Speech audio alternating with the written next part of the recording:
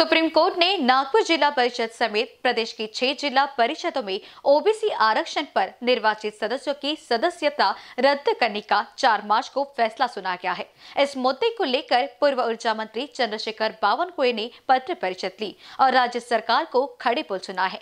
बावनकुए बोले की राज्य सरकार ने न्यायालय में उचित जानकारी न देने से यह निर्णय आया है। इसलिए इस निर्णय को राज्य सरकार जिम्मेदार है, ऐसा आरोप भी पत्र परिषद के दौरान कहा है। सुप्रीम कोर्ट के आदेश के अनुसार अब राज्य चुनाव आयोग ने राज्य भर में छह जिला परिषदों में रिक्त हुई पचासी ओबीसी सीटें और 144 पंचायत समिति वाड़ी में चुनाव की प्रक्रिया शुरू कर दी है।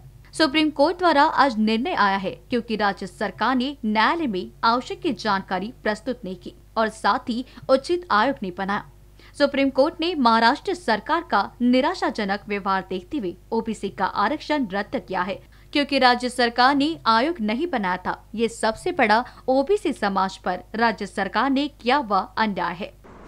वो कायदा ज़िंदा है, लेकिन फ़ायदा नहीं हुआ, क्योंकि सरकार ने पिछले चौदह महीने में आयोग कम से कम इतना बता सकते थे सुप्रीम कोर्ट में। हमने आयोग तैयार किया है, आयोग की कार्रवाई चालू है, पूरे महाराष्ट्र का सर्वे करना है, कोरोना का संक्रमण है, हम डाटा देते हैं, ये भी बोल सकते थे। लेकिन जब तैयारी नहीं किया है आयोग चौदह महीने में इंतज़ार किया कोर्ट ने आयोग तैयार करने के बारे में, लेकिन तब भी नहीं तैयार किया, इसलिए ये रिज़ल्ट आया हुआ है।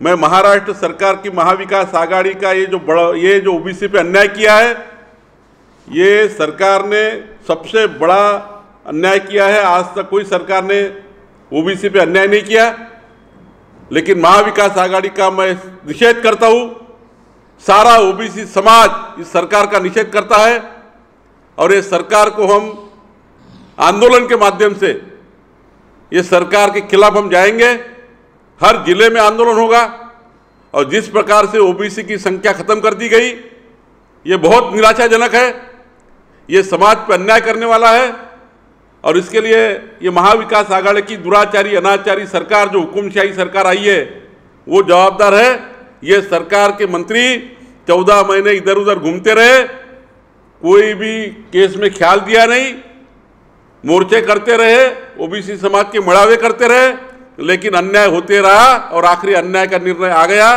और ये 16 मार्च का निकाय जो राज्य निवडणूक आयोग का लेटर है, ये दर्शाता है कि ओबीसी समाज अभी कोई सीट आरक्षित नहीं रहेगी।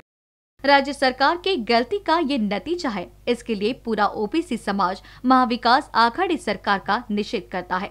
ऐसा बावन कोड़े द्वारा पत्र परिषद में कहा गया। साथ ही तीव्र आंदोलन का इशारा भी दिया गया है।